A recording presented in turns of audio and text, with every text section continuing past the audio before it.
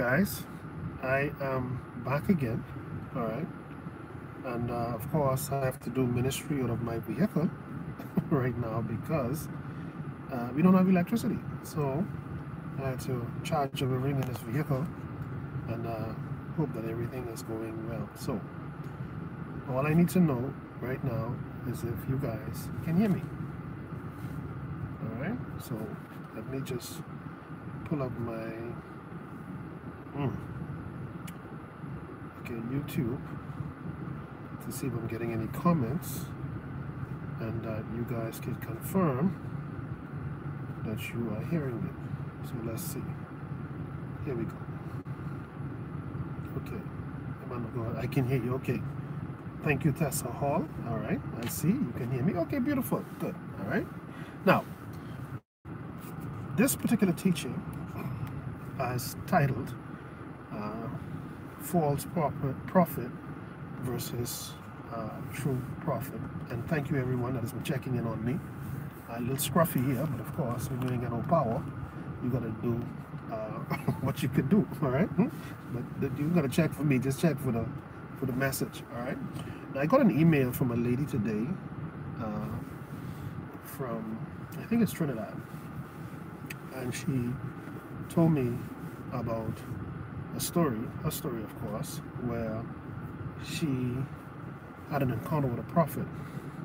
Now, prior to the encounter with the prophet, uh, she was talking about a, a, relationship that she had ended, and uh, she believed there was a little soul tie going on there that she had to deal with, and then there was some other uh, body body sickness that she was dealing with. But anyway, when she met this prophet, the prophet actually told her, I see there's a soul tie issue you need to deal with. You need to bring that to an end. And also there's a there's a, a sickness going on with a part of your body, which was all true. But then he said to her that she needed to and I wouldn't say exactly what it is that he told her to do, but what he told her to do was to mix a particular concoction and drink it. She said to me in the email that she did not follow his advice in terms of what he said to do afterwards because she wanted to clear it with me to see if it was, you know, if it was right. What, what was my thoughts on it? So immediately, immediately when she, she, she, she mentioned the part what he said in terms of a remedy for her, I knew right away it was not of God. I knew right away he, he was not a prophet of God. Now that's a heavy statement to make because most people that hear a prophet prophesy and what he says is accurate to them, they determine from that point forward that that particular prophet is of God. Because in their mind, how could he be so accurate with what he's telling me if he is not from God? Well, that's a beautiful, beautiful question because now we're going to go to the scriptures. You see, you know, I, am the scripture guy. Let's go to the scriptures and let's see what the scripture have to say. All right. And I'm going to tell you from the onset because I wrote a very lengthy email giving a myriad of scriptures, but also breaking down those scriptures so that she would have an understanding, like I'm about to do with you right now. Many people have prophesied to you. I was a victim of this. And this is why I'm so much against it, and that's why I teach so much about it. There are many people out there who truly have the gift of prophecy, who truly God has given the ability to see in the spiritual realm as it relates to the lives of others. They have this gift but a lot of them have polluted their gifts for whatever reason, primarily for monetary gain. And now they begin to, yes, the profit, the gift is not going to diminish or not work because they're operating outside of God. They still have the gift. But now, because they're using it from a demonic perspective, the gift is now polluted. So yes, they, the prophecy would be true, but what they're asking you to do, unknowing to you, is going to cause you to now forge covenants with the kingdom of darkness that's now going to introduce a greater evil into your life. Okay, now let's look at the scripture. I love the scriptures, man. I don't know about you, I love the scriptures. And when she, when I read her email, my mind went straight to this particular scripture. So I want you to turn with me to Deuteronomy, Deuteronomy chapter 13. Okay? And we're going to read from verse 1 to verse 5. Deut Deuteronomy chapter 13, and we're going to read from verse 1 to verse 5. Okay, but let's be clear. If a person prophesies to you and their prophecy was accurate, I mean to the T, to the letter, all right, that does not mean it is a prophet from God. Let's be clear. Let's be crystal clear. Because there are other factors that we need to now observe after the prophecy, even though it came to pass, as it relates to that person, to make a final or make a conclusion on who they are. All right, so Deuteronomy chapter 13, and again, we're going to read from verse 1 to verse 5. Okay, I'm going to take my time and I'm going to explain as I read. Verse 1 says of Deuteronomy 13, If there arise among you a prophet or a dreamer of dreams, and giveth thee a sign or a wonder. Verse 2 and the sign or the wonder come to pass. So what they said, or they gave a particular sign, God said X, Y, Z, and boom, X, Y, Z happened. He says, and the sign or the wonder came to pass, wherefore he spoke unto thee, saying, listen to this carefully now, let us go after other gods which thou hast not known, and let us serve them. So let me explain to you what he's saying so far. He says, if a person comes to you, a prophet or a dreamer, and the prophet says, tomorrow at this time, the poverty you see today, you will see no more. And guess what happened? Tomorrow, the same time, somebody came and blessed someone with a million dollars. So for you, you're like, my God, oh, this this this is a man of God. I mean, you're just totally taken in awe by him because what he said come to pass. But let's look at what the scripture is saying though. The scripture now is saying here, and it put emphasis on verse 2. It says, even though his wonder or his sign came to pass, follow up on what he's saying afterwards. For example, some may say to you, XYZ is the case. And God is showing me someone is working sorcery in your life. God is showing me where you try to apply for different jobs and everyone turn you down. I see where your family is coming against you. I see where there's major conflict on the job. But the Lord is telling me that this is witchcraft causing this. And guess what? He's true. It is it's a is as true as true can be because you, you know this, you're living it, you know. But then he says to you, I need you to go get two, two eggs. And I need you to go to the beach at 12 o'clock at night. And I need you to bury these two eggs in the sand. And I need you to draw a circle around it. And I need you to do a happy dance and then do a happy face and walk backward when you leave. So this is what the scripture is saying now. The scripture says now, if he's, let's, let's read verse 2. And the sign or the wonder came to pass, or the prophecy what he said came to pass. Wherefore he spake unto you, saying, Now he's saying to you, let us go after other gods. But you say, well, Kevin, he didn't tell us let's go after other gods after that. So I think you're wrong. No, no, no, no, no, no. You're still missing it. He's getting you to engage in a ritual that's going to cause you, unknowing to you, to forge a covenant with the altar that he is serving. See, y'all ain't hearing me. Y'all ain't hearing me. You see, you know I can break it down for you. You know I can break it down for you. It's the same thing when he said to you, the, if, if you believe what I'm saying to you, just the prophet now, or let's say the, the, the, the prophecy came to pass, and he came to you and he said, the Lord is saying that you must now sow into my life a thousand dollars. Which scripture is this, sir? Which scripture is this? The Lord is saying to me that give your best seed to me now that you see the hand of the Lord upon your life. Ah, get out of here, you, you crook. So let's read it. Let's read it. I love this. I love it. Verse 2 says, let's stop at verse 1 again. Deuteronomy 13. If there arise among you a prophet or a dreamer of dreams, and giveth thee a sign or a wonder, they declared something or they produced something. Verse 2 say, and the sign or the wonder came to pass, meaning what they said was correct. What they prophesied was true. What they dreamt about you was on T, it was on target. But the scriptures say don't don't use that as the only evidence to determine that they are men and women of God. No, no, no, no, no, no. He said, now continue to read the biblical principles that I've put in place so that you can make a sound judgment on who they really are, even though the prophecy was for real. I can nail this today. See, this what the storm do. This after the storm, okay? This the whooping after the storm, okay? Verse 2 says, And the sign or the wonder came to pass. Wherefore he spake unto you, whatever he said came to pass. The scripture says, wherefore, the scripture says, let us, he says, now let us go after other gods. He says, if he says, let us go after other God which thou hast not known, hold on.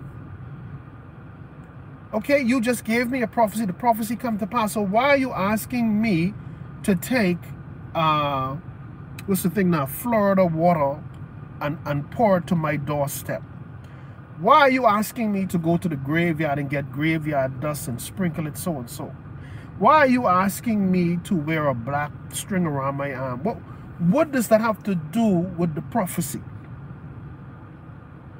So what is he doing? He didn't come out and say, let's go after other gods. No, no, no, no, no. But his action is directing you to another God his words in terms of him saying, okay, God says, sow a seed to this. And I'm not saying that all that says that isn't true. But what I'm saying to you is let's look at the scripture for an example. Let's look at the scripture as a, a, a, a pattern to see what he or she is following. So he's saying now, yeah, the prophecy came true. Now he's saying now the Lord says now you need to bring an offering to my altar. Your altar. What do you mean your altar? Altar you have? So this is how, now it isn't to say that he doesn't have the gift. You all remember the guy Balak and Balaam? Balak was the king of the Moabites. Balaam was who? Balaam used to be a prophet of God. But just like many other prophets, okay, they decide to use their gift to bamboozle and to manipulate others for monetary gain. But the things that he said came to pass. They were true. But at the end of his prophecies, he now asks you to do stuff that is contrary to God. Now, before I go any further, let me just give you some advice now. Because I know a lot of you could relate to what I'm saying. This very moment, we're not going to go any further. This very moment right now. Father God, I repent of any false prophet that I've allowed to put their hand on me, that I've allowed to point their finger in the crowd at me and prophesy over my life, when the truth is, they were not of you, or they were under a curse, or they were polluted. Lord, whatever was transferred from them to me, whatever I came in agreement with when I accepted their prophecy, whether it was true or not, but the vessel in which it was coming from was polluted. Father, I renounce, I repent, I pray that you relinquish me from whatever spiritual chains or cords that I have tied myself to as it relates to receiving that prophecy. See, folks, what people don't understand is when you receive a prophecy, you're coming in agreement with that prophet and whatever kingdom or altar he or she serves. That's why I say to you, don't take what they said that came to pass as the final or the final say that this is of God. No, man, that's not what I'm reading. Now watch this. Watch what the scripture says here, right? I mean, I just find this to be so fascinating. It says that even if his prophecy comes to pass, but he says, let's go serve another God. You say, uh-uh. No. No. No, no, no, no. So this is what I'm saying to you. If if and I always tell you this, if they cannot bring the scripture to support what they're advising you to do, then you should at that very moment, yeah, the prophecy is true. Yeah, what you but I I read I I cancel whatever agreement spiritually between you and I right now, Mr. Prophet. You don't got to say it loud if you don't want to. I mean, you could, but you could say it right in your heart. But I tell you all the time, even if you come to my service, and if Kevin Ewing teaching, preaching, or prophesying to you, say in your heart before you even enter Kevin's service, Father, if what Kevin Ewing have to say is of you, if you really sent him here to speak a word, then I receive of that word. If Kevin Ewing is not of you, if Kevin is possessed by a devil, if Kevin is motivated by whatever else to preach me happy, I reject, I renounce, or whatever it is that he is dealing with, I refuse to be a part of it. Lord, release me from whatever spiritual captivity that he may be trying to impose upon my life. Now, I'm telling you that for me. So you should judge everybody the same way. I don't care who you are. I don't care who you call yourself. That's what Kevin does. Whatever service I go to, even friends of mine, because anyone could sway off in the flesh at any point. And I don't put anybody above my God. So the only person I have my complete confidence in is my God. That don't mean I don't like my fellow brothers and sisters in Christ. What I make clear to me is that the only person I put my complete trust in is God Almighty, His Son Jesus Christ and it's no it's no it's no shade to prophets and preachers and apostles. Now, if they take it as shade, then I guess one of the persons I'm talking about. but nevertheless, clear you. Clear the spiritual clutter when you go into these places. Set the stage that whatever demon running up in here, it ain't coming over here. So no matter, don't don't be so gung-ho by a particular preacher or teacher, or, and I always use myself. Don't be so gung-ho by me. Oh, Kevin is a great teacher. That's beautiful. That's his gift. Okay, fine. But Kevin ain't God. Okay? Kevin's subject to mistake. Kevin's subject to error like anybody else. So to, to, to be safe on your end and Kevin end, do exactly what I tell you. Father, yeah, I pray for the grace on Kevin's life. I pray that you continually be with him, but at the same time, God, I cover myself too. So if Kevin talking nonsense, Kevin up here talking fool, and Kevin up here telling people go do this and do that, Father, if that ain't of you, then I reject it. Oh yeah. I, I remember a story one time, I think I told you about this before. Uh, this this pastor, try to get this, I'm holding this in my hand, so you got to bear with me here. this pastor came to the island one time, and he said, he was preaching, he was an African pastor. This was what was told to me. And he told the crowd if anyone in there have enemies. But of course, everybody placed their hand up. So he said, let me tell you how to deal with your enemies. Now, this is the pastor now. He said, when you leave this building tonight, you find the biggest stone that you can hold in your hand. And you get a marker. And you write your enemy's or enemy name on that stone. And when you get to the nearest body of water, you throw that stone in the water. It sounds like witchcraft to me. It sounds like sorcery. This sounds like a ritual to conjure up a water spirit. That's how it sounded to me. See, but what happened, a lot of people are going to buy into that because all they're thinking, this is the man of God. That's how they're thinking. So right there, by labeling him as the man of God, they automatically assume that he would never tell them nothing that is evil or wrong. Not Kevin. But in my book, everybody is guilty until proven innocent when I dealing with people because I've met too many fakes. This is why I say to you, don't put your trust in me. Don't put your trust in your pastor, your apostle. Put your trust in God. God, I love my pastor. I love my apostle. I love them. But they have feelings. They have emotions. They some days they're up, some days they're down. I mean, that don't diminish their gifts, but they're human. So to protect me and to cause me not to be spiritually vulnerable, then I say off the bat, Father, if if Pastor Amos over here today, whom I love, is preaching from his flesh and prophesying from his flesh, or he trying to raise some money for the church wing, so he figure by prophesying people can give, Father, I reject, I renounce, I denounce myself, my spirit, my soul, my being from whatever he is saying or she is saying that is not of you.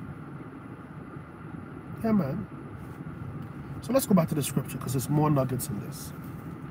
So the scripture says here, we're going to start from verse 1 again of Deuteronomy 13.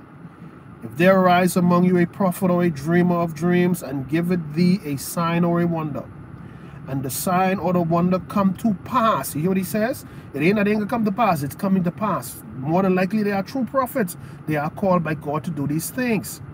But it does not mean that they cannot be polluted. It does not mean that they cannot use it for demonic services. There are many people who do tarot card reading and and uh, what's the next thing? Psychics. Most of them are true prophets who just like Balaam decided not to use it for the glory of God. It's the same person, it's the same like a person who God gave the gift of singing.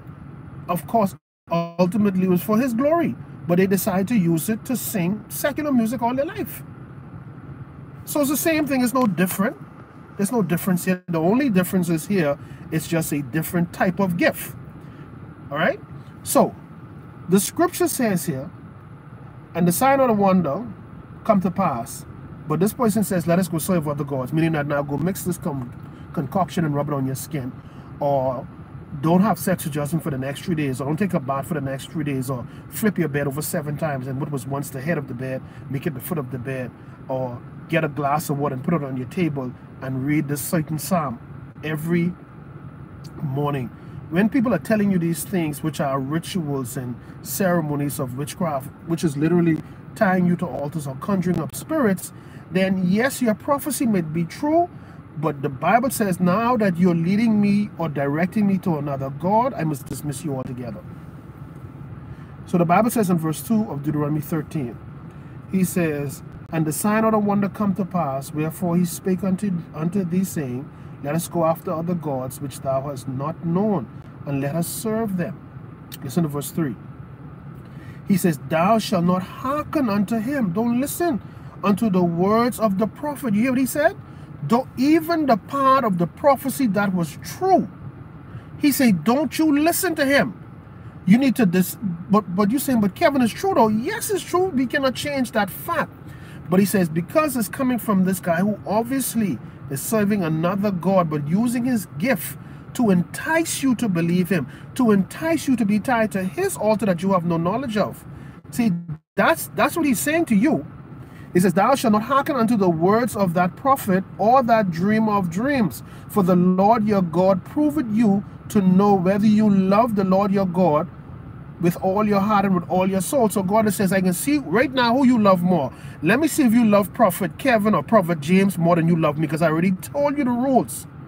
So if you so caught up on he was so accurate and not looking at the second part that he's now advising you to do something that is contrary to my laws, then obviously you love him more than you love God Almighty. So we can break this baby down. Watch this now. I can read it again, verse 3. Let's read it again. Thou shalt not hearken unto the words, plural. He didn't say, do not hearken unto him in terms of don't go serve another God. Everything he said to you, even though it was true, don't listen to him. He says, do not hearken unto the words of that prophet or that dreamer of dreams. For the Lord your God is now proving you, listen to this now, to know whether you love the Lord your God with all your heart and with all your soul. Listen to verse 4. You or ye shall walk after the Lord your God and fear him don't be caught up because he said XYZ and XYZ came to pass. He said, do not allow that to be the final evidence for you. Listen, listen to what he's saying. If the guy is now telling you, now that I give you that word, I need you to put a thousand dollar seed for what?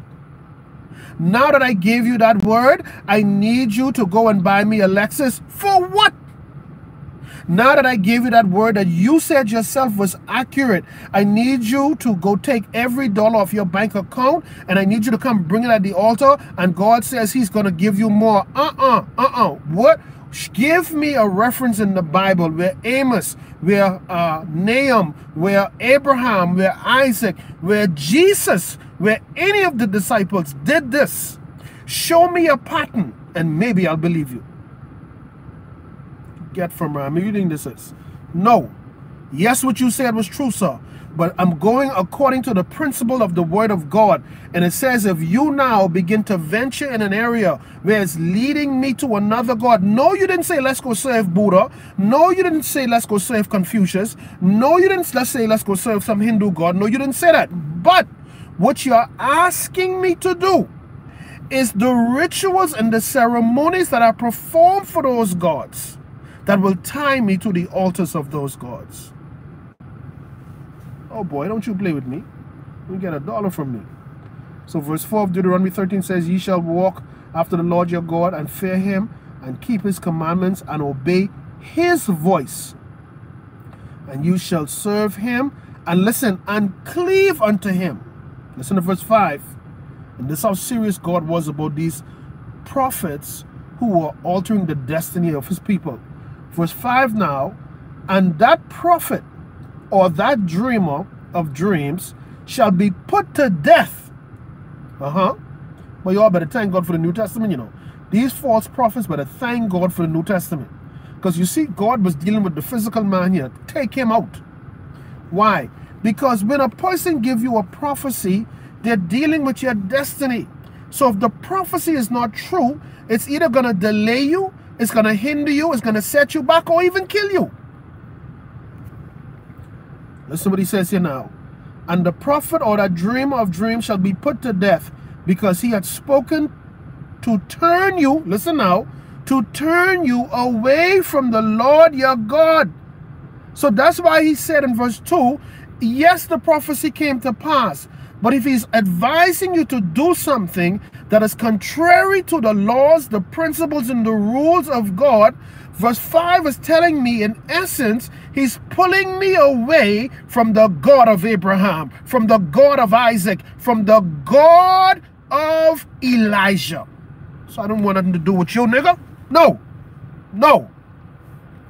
I want nothing to do with you. Because you are setting me up. But you're using your gift. You're using the ability that God has given you to lure me into a trap so I would be so caught up on the prophecy. Oh, this prophecy was so on point. This was so on target. But now you telling me, let's go sacrifice chickens and goats and let's go beat drums and dance around some stones? Uh-uh. No. No. Years ago when I had no sense, when I was spiritually retarded, you could have pulled that, but you can't pull that no more. Guess what I did? I did what you never advised me to do, and I went and studied the word and the word does not coincide with what you're telling me. So get, get away. And the prophet or that dream of verse 5 shall be put to death because he had spoken to turn you away from the Lord your God, which brought you out of the land of Egypt and redeem you out of the house of bondage, to trust thee out of the way which the Lord thy God commanded thee to walk in the midst of thee. So this scripture is clearly showing you, I'm not finished, that the purpose of these people, they have the ability, sorry, to use their talent. Remember the Bible says, you know, I think it's first or second Corinthians 11 and 29, somewhere around there. He says that the gifts of God are without repentance. Listen, my gift is I'm a teacher. I'm a teacher of the word of God. According to that scripture I just quoted, God, the Bible is saying, I didn't have to accept Jesus Christ as my Lord and Savior to, to, to teach the Word of God. In fact, I'll tell you a story. I think I told you this before.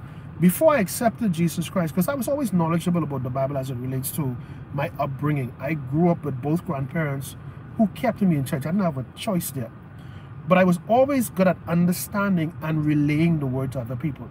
For some reason, I just could have done that, which was my gift. Now, I lived my sinful life in my early years. I partied, fornicated, lied, do all those things. But when it came to talking about the word of God, boy, look here, I would run circles around the average preacher. And I was a sinner. So you see, my gift wasn't inhibited because I wasn't a Christian. So this is why the scripture, the law, the rule, the principle says that the gifts of God are without repentance. I don't have to accept Jesus. I don't even have to have a relationship with Jesus to exercise my gift. We see it every day. We see Whitney Houston, we see Elvis Presley, we see all of these secular singers whose gift was singing, but of course they sang for secular whatever. So as you can see, your gift don't that's why the scripture is telling us don't be caught up on the accuracy of the prophecy. Don't be caught up on the gift. Don't say oh my god he's always on point. He's always on target. Let's see what this brother is doing afterwards. What is he advising? Why is he telling all of us to bring bottles of water to church Huh? Why is he putting water in, in these little spray cans and spraying it in our mouth and saying this is the Holy Spirit? Why can't we see any scripture where Jesus had a bottle and spraying stuff and say the Holy Spirit in the spray. No, that's not of God. What it is is the water from his altars, from the water spirits, and now you got all of this receiving of the Spirit and don't even realize it. All they're looking for is your agreement, and this is what you don't know. So you're agreeing to take on this foolishness. They're prophesying stuff that you know is not true.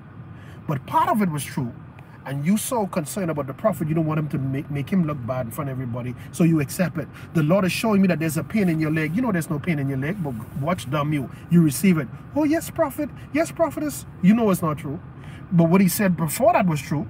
He said, I see where you're having marital problems. Oh, oh, oh, oh, oh that's so true. Oh, that's so true. So you don't want to prove the prophet to be wrong now. So the prophet said, yeah, God is showing me there's a pain in your left side. And, and, and, and it's, can oh, yes, you know, it's, but watch what you're doing. You're missing the spiritual implication and the principle.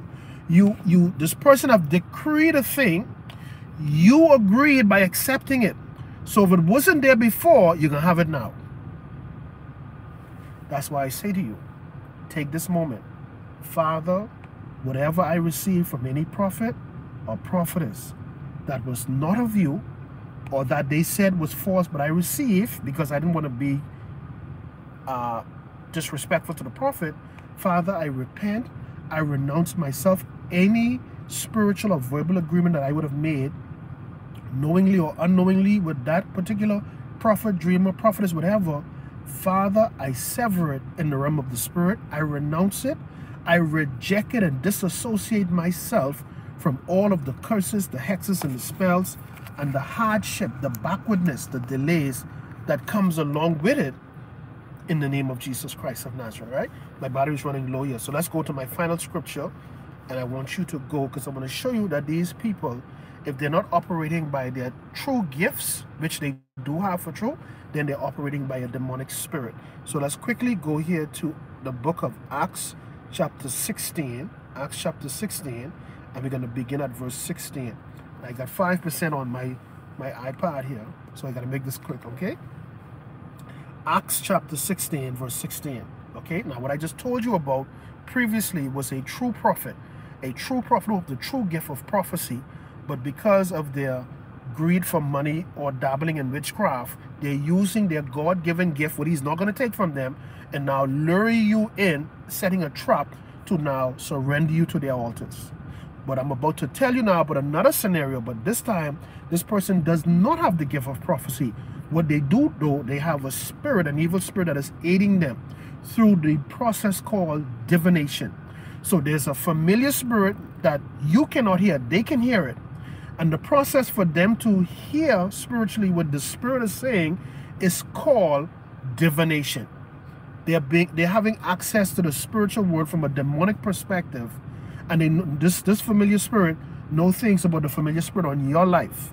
So they're communicating and now conveying the message to you. So that will make them look like a true prophet. So in Acts 16, and we're going to read from verse 16 uh, to verse uh, 19. So listen to this now.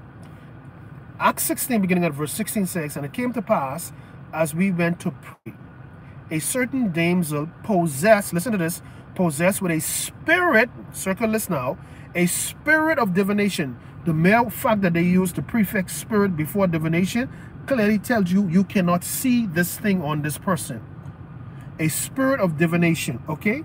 The Greek word for this divination is called python, all right? So this lady was possessed by a spirit of divination.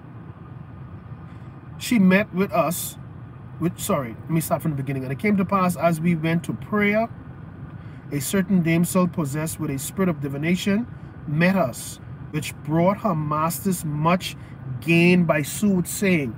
Soothsaying meaning that she is an oracle decreeing divine revelations of the future. Oh, God is showing me that someone is going to die in your family.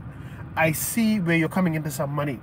So the Bible says that this spirit, through the process of divination, is giving this person who don't have the gift of prophecy the ability to now predict. Now, most of what she's going to predict is lies, but a lot of what she's going to say is true. And she's going to say something true here to Paul. Listen to verse 17. It says, The same, meaning the lady, the same followed Paul and us and cried out, meaning this is what she's saying. She's screaming out. She says, These men are the servants of the Most High God, which showed unto us the way of salvation. So what she is saying is correct. What she is saying is true. And she is now telling the world, these are men of God. So that will even make her look good. That she can even recognize the true men and women of God. So the world, the, those who are around who are ignorant to spiritual laws, rules, and principles will automatically label her, this is just a woman of God, man. For her to see that Paul them is really men of God, she, she on point. Listen to verse 18. And this did she many days. Every day she'd been doing this, declaring who they were. But Paul, being grieved, turned and said, I love this, listen to this carefully, don't let's read it fast. Paul turned and said to the damsel or to the woman, no, no. He addressed who? The spirit of divination. So you see why I tell you thank God for the New Testament? Because we just read in Deuteronomy uh, chapter, uh, what that was again, chapter 13, where in verse 5, they were advised to kill the physical prophet. Well, you better thank God for Jesus. You all know good prophets. You better thank God for grace. So the Bible is saying, don't attack the woman, attack the spirit. So the Bible is clear here. It says, and this verse 18, and this did she many days, but Paul being grieved turned and said to the spirit, command thee in the name of Jesus, come out of her. And he came out the same hour. So when the spirit came out, listen to what verse 19 says. And when her masters saw that the hope of, of their gain was gone, they cannot benefit from the spirit anymore. The spirit that was on her, that they put there obviously, so that the spirit could speak to her and communicate. For example, whatever everyone have a familiar spirit on them, whether you realize it or not, that is recording every moment of you, that knows your whole lineage. So when that familiar spirit, which are most, which are not most, but all false prophets, and that spirit will say,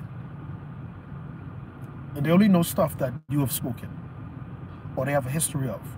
And they said, okay, Kevin, Kevin come from a, a family of divorce. So the prophet said, man of God, come here. The Lord is showing me that you come from a back, oh, oh, hallelujah. You come from a background of divorce. So you'd be like, oh, wow, yeah, that's true, wow.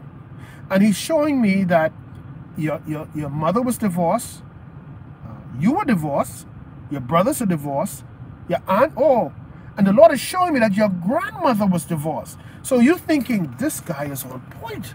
My Lord.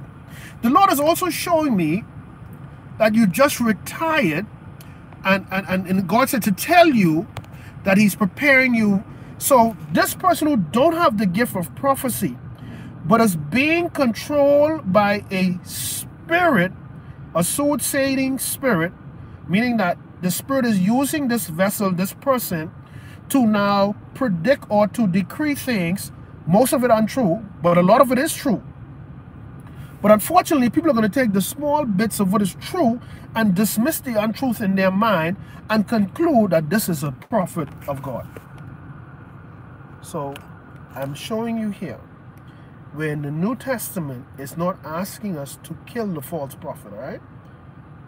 It's not asking us to do that. What it's asking us to do, like Paul demonstrated, you come against the spirit. So that's what you do.